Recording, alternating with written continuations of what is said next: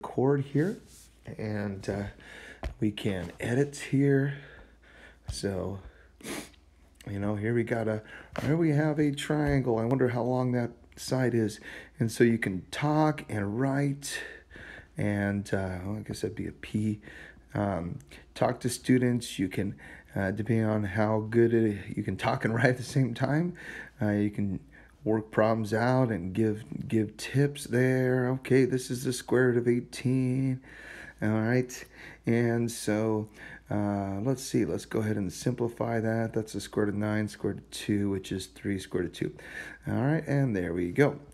So you can do that. Now, another thing you can do here is there's this tool. Sometimes writing on an iPad is tricky, like that 3 square root of 2 is a little sloppy, so maybe I'll erase that.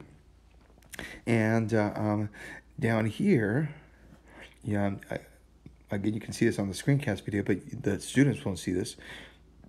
There's this little zoom, and it's the, in fact, I'm gonna I'm gonna pause this video right here. And so now I'm going Ninja View, and I'm gonna zoom in, but uh, on the Explain Everything video, uh, students won't see this. And I'm gonna write three, maybe I'll want this a little thicker, because when I zoom out, it might show up.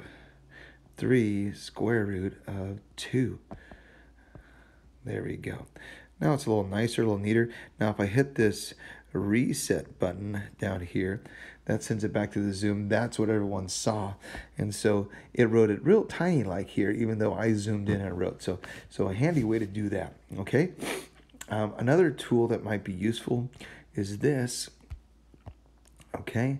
So here's another problem I want to do. And so sometimes videos can get a little bit long, like you might be falling asleep right now. I don't know. So sometimes videos might get a little long. So uh, um, uh, one useful thing to do is to stop the video. So we say, okay, right, okay. So I'm going to try this one. And so I got to use my Pythagorean theorem. Now I'm going to hit stop. And there is the Pythagorean theorem that we would use. Now, if we solve this like we did last time, all right, so we get the square root of 50 there, worked it out there, same kind of way. We've done this lots of times. And uh, now we just got to simplify this. So we're looking for a perfect square that goes into the square root of 50. Let's do that. So I can break it up. Ah, the square root of 25, that goes into it. Okay, so square root of 25, we know. Okay, and there we've got 5 square root of 2.